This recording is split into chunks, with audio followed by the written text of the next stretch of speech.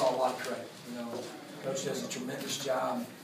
Uh, very, very physical, very, very tough team. Uh, obviously, he's a defensive-minded guy, and, and um, you know, in my opinion, I, I hadn't seen the film. That's the best that we've been defended. Uh, they did a tremendous job. Uh, obviously, we, we had a lot of negative yardage plays, and uh, um, you know, uh, they did a great job keeping us off rhythm. And really, really proud of our players, proud of our team. Uh, you know, our guys um, uh, were very, uh, you know, you know, bought into how we're doing things. And uh, what I liked is that our players are actually coaching our team. Uh, and I, you know, you know, Coach Norvell calls the offense, I call the defense, and uh, the kids coach the team. And they're over there. I see defensive guys going down to the offensive end saying, "Guys, hey, just keep plugging. We're going to win this game. They're not scoring, you know." And and uh, same thing there at the end there. The offense drives it down, scores, and then um, you know we go out and you know Will Sutton, you know. Uh, Player of the year last year, consensus All American. But since I've been here, that's the biggest play I think that, that he's made. That was a tremendous play. And we got great players that make great plays, and uh, I do think that. Uh, uh, you know, coming in here, I can tell you, is a very difficult place to play. It's very loud. Their fans do a tremendous job. Uh, uh, and uh, to come in here and, and to, to, to win the way we did, I think is going to help our team tremendously. So we're really proud of our players, the character that they showed, and did a great job today. And obviously really proud our, thought we played well in special teams, even though our punter is like, wow, I've never seen somebody kick the ball the way he does. I mean, we move the guy over here and kicks it the other side. I mean, he's really, really good, and he has this unorthodox uh, roll to the right, kick to the left punt that is really difficult. And um, uh, that was that was one of the things that they, you know, their punter was definitely really good. But uh, I thought our guys kickoff return, I thought our kickoff coverage team, I thought our special teams, I thought we won special teams, and that was big for us. And then obviously uh, we played exceptionally well uh, defensively, and especially down the stretch in the fourth quarter. Coach, can you, can you elaborate a little more on the fourth quarter defense? You had two interceptions in the final couple minutes, uh, 17 total yards of offense that you gave up. What adjustments did the team make in the fourth quarter? Well, you got to give them a lot of credit. Uh, you know, very few times, you know, you watch a lot of film and, and uh, watched a lot of film, and uh, very few times does our team go out there on the field that they do things that we didn't really work on. And that happened for the first time this year tonight. And uh, our guys didn't panic. Uh, they didn't do the things that they'd done in the last three games, and um, and we watched, obviously we watched the entire year, and so they, they had some adjustments and things that kind of you know had had uh, caused us a few errors early in the you know we gave up 100 yards in the first half. I mean, and we uh, came in and we, our coaches we think we given up 50 points or something. That's a pretty good half. Uh, so uh, we just made what we basically I tell you what we did. We just went back to the guys. What we ran at Camp Thomas on just go back and just run what we run. Let's run our stuff. Let's play.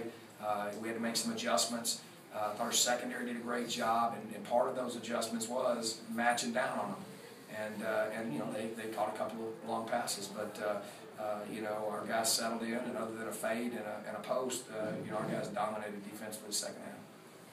What, what is running it, run what we ran at Camp Thomas? Well, we just went back, yeah, we just went back and said, hey, you know, I wouldn't say, they probably wouldn't tell you that we do anything simple, but uh, what I'm saying is that we, we had a very specific game plan for what they were going to do, and we didn't run any of it because they, they, they had ran a lot of different things that they had not.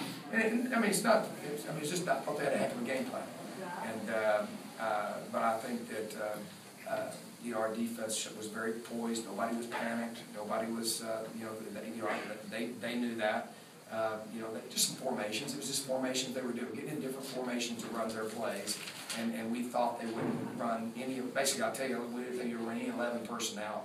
Uh, tight end got hurt three weeks ago. They had not run but 18 plays of 11 personnel, all on third down, and then that's all they ran. And a lot of single width, a lot of FSL, formation strength in the mount. You probably don't want all that information, but it was uh, it was quite a bit. And, and, and but in camp, we go through all those scenarios. So we just went back and said, hey, okay, we do this, we do this, and, and our guys were just picked it up and did it, and had no problem with it. And uh, the key was getting the run stuffed once we get the run stuff, then, then, then, you know, unless they catch one over the top or something, they're, you know, our guys are, guys are playing pretty good defense right now. It seemed like the offensive line struggled through stretches and then maybe stabilized towards the end. Did you, what did you think about what they were doing pressure wise? Yeah, yeah.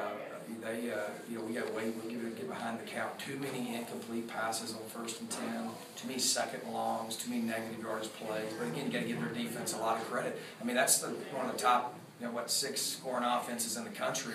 And I, I thought they really did a really good job in defensing us. So, uh, uh, but again, our guys, I love the, the poise that our guys show. The thing I don't like about tonight is turning the football over. And, and, and that's the thing we cannot do. And if we don't do that, uh, you know, our, our chances of winning are really, really good. So, um, uh, but I like it. I like how our guys responded. These guys are happy because they won. They could care less how many yards they had. They could care less uh, if it was 55 to 51 or if it was 20 to 19. We don't care. Uh, we just, it's about winning, and, and our focus is on obviously the next game. And uh, we've been in a single elimination tournament since Washington, and uh, and that's the key. So we go back home to Sun Devil Stadium. We need our fans, our uh, Sun Devil faithful, loud and proud, to fill that stadium up because uh, uh, this is a big, big game for us. Coach Robert, great football coach, got a big time offense coming in. Uh, one of the best offenses in the country, and um, they've had two weeks to prepare for us as well. So uh, uh, we'll uh, we'll see what they have in store for us. So you really need our fans out. Uh, these guys, I'm really proud of our players. We had a chance. Coach, can, can you talk a little bit about Marion Grice in the fourth quarter?